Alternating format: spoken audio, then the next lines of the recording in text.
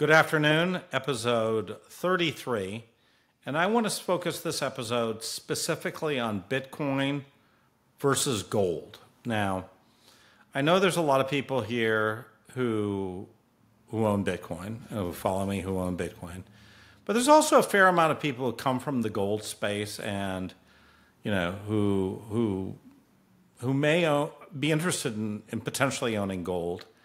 And I want to go over why I think Bitcoin is so much better a trade than gold, but also what gold can teach us about the price of Bitcoin. Okay. So I've been a gold owner for 30 years now. I've owned physical gold since 1992.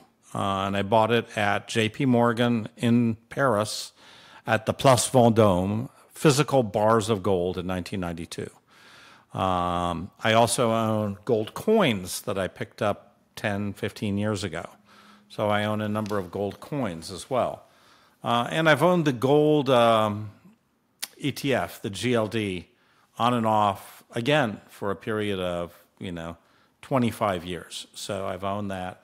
And gold, since I first bought it, I bought it about $300 and it is up, it is up um, seven times. Okay, it went from $300 to effectively $2,000 over a period, over that period of 30 years.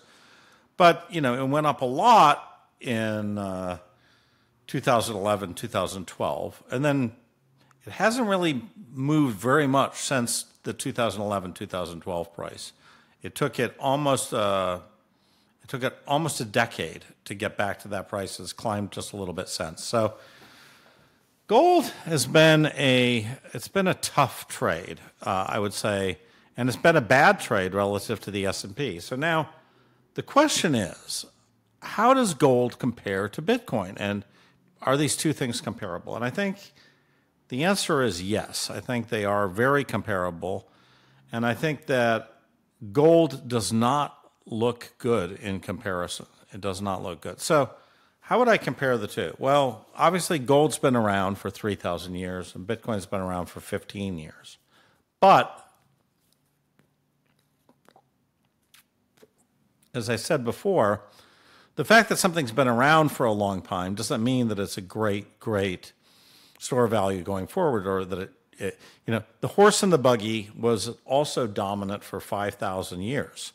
Uh, they had chariot races in Ben Hur in Rome. Uh, you know, even in the Middle, Middle Ages, people were using horses, and that was the mode of transportation. And then all of a sudden, in around 1910, the car basically replaced the horse. And there's this great picture of Fifth Avenue that I posted on Twitter, and you can see, you know, over a period of 10 years, all of a sudden there were no more horses and buggies and there was just cars in New York. And so, you know, you have this, there is this precedent for disruptive technologies uh, taking, taking, taking over very quickly. And I think Bitcoin is that kind of disruptive technology, right? So, um, what is the use of gold really? Well, the use of gold is it's rare, right? It's uh, most of the gold that has ever been mined is out in circulation. It exists. It's very, very durable. It, it, it people have kept the gold. It doesn't get destroyed. It, uh, it doesn't get lost that much, and it, it's still around. It, and you know, it's very hard to find gold. There's only a, a two or three percent of new gold that's mined relative to the entire stock of gold. So that's what they call uh, a high stock to flow of gold. The flow is low relative to the stock, or reverse, the stock is high relative to the flow. Now, Bitcoin has an even lower stock to flow, right? So as of this new halvening, there'll only be about 1% per year of new Bitcoin that is being mined relative to the supply of Bitcoin. So, so the stock to flow of Bitcoin is less. But they're both rare, okay? So it's not one is much, much rarer than the other at this point in terms of mining it. So that's not a, a, a critical distinction. What is a critical distinction is the price. Now, I'm going to show you this graph, and the graph is pretty, it's pretty, uh, pretty revealing, right? Which is, here is the graph, and you can see the market cap of gold is about 14 trillion dollars right now, and the market cap of Bitcoin is about 865 billion dollars. So the difference is you know, it's almost 15 to 1, okay? It's 15 to 1 difference between gold and Bitcoin. Now, uh, the obvious question to me is hey, Fred, is this thing likely to, uh, to agree? Is the, is the price of Bitcoin going to match the market cap of gold? And I, I think it's going to more than match the, the market cap of gold because I think just like just like um, just like the automobile is a superior technology for transportation, I think that the Bitcoin is a superior yardstick of value than gold. So why? Uh, about three reasons. The first is that Bitcoin is is completely and utterly transparent. So if you want to, if you wanted to look at how much gold I have in my vault, you're going to have to get all those bars weighed and uh, measured by a professional uh, assayer, right, of the gold. So that's that's that's expensive. That's time consuming. You need to get an expert on on hand to do the uh, the auditing. Uh, on the other hand, Bitcoin, I can tell you in five seconds whether your Bitcoin is authentic or not. Um, so that's the first thing. So the the ability to immediately audit the the value of the gold versus the value of the Bitcoin is just one enormous difference.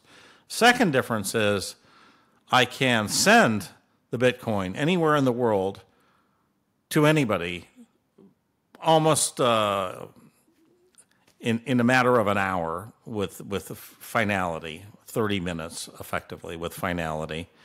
Um, and with gold, you know, moving a large amount of gold requires an airplane. Uh, it used to require a ship, but uh, it, in any case, it's very, very difficult, right?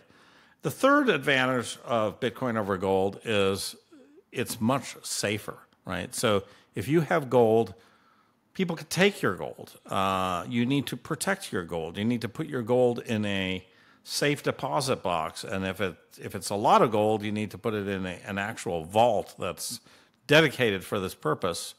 And you know that's why you have Fort Knox with armed guards, and you have vaults in Switzerland with uh, you know built into the side of mountains with guards and so on. So so it's again, Bitcoin wins this very, very easily. So for these reasons, and the last thing is, you know, Bitcoin has a, a finite supply. It is mathematically finite, whereas the price, of the there always is some possibility they're going to find some enormous new mine of gold. Now, a little bit of a history lesson in the uh, 1500s when Spain um, found large gold mines in South and Central America, Spain actually owned half the gold in, in, in the world, right?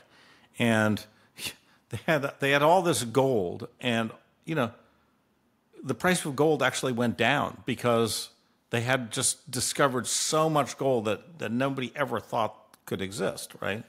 And so you know, this mining of gold and the possibility of these new uh, things is, is a flaw in the gold technology. So, what do I think that means relative to Bitcoin?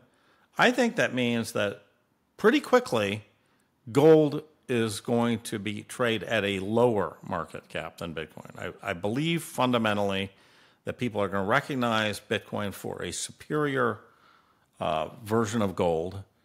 And I think at a minimum, at a minimum, gold, Bitcoin is going to trade at a premium to gold. So I think gold is not a terrible store of value right now, but I do think it could lose some to Bitcoin. So let's just assume gold goes up a little bit to 20 from say 15 billion to 20 billion. And I think then you have Bitcoin going up from 800 billion to 20 trillion. Well, that's a 25x difference in Bitcoin. And that brings us to easily a million dollars per Bitcoin. So that's really the one fundamental place you can anchor anchor um, Bitcoin. And because of all these other advantages, I think you can easily get to the two, three, four, five million later. But what I'm trying to explain to you is that we actually have, with this gold Bitcoin pricing mechanism, there's a very, very concrete way to estimate where Bitcoin's going on a price level. And I think that price is going to be a million dollars per Bitcoin. And, you know, if I had to say, uh, if you're young, I would definitely not sell your Bitcoin below a million because I think we're going to get there. Now, if you're 80 years old, you know, you'll get there, but the Bitcoin will get there, but you may not be around to, to go there with it. So I, I would say, you know, if you get to a couple hundred thousand dollars in your Bitcoin, maybe that's a, a good point to kind of call it quits because you know, the Bitcoin does move in cycles and um, and I think that you know uh, there is a possibility for a sort of severe long um, down cycle for Bitcoin before it gets to a million. It's not, there's no, it may not be a clear path.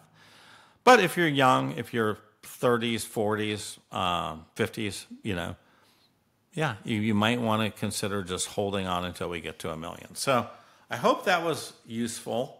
Um, I really do not think, unless you, unless you, you know, really need need gold for some reason, I think it's it's really not a great buy here, um, and I would not recommend owning it.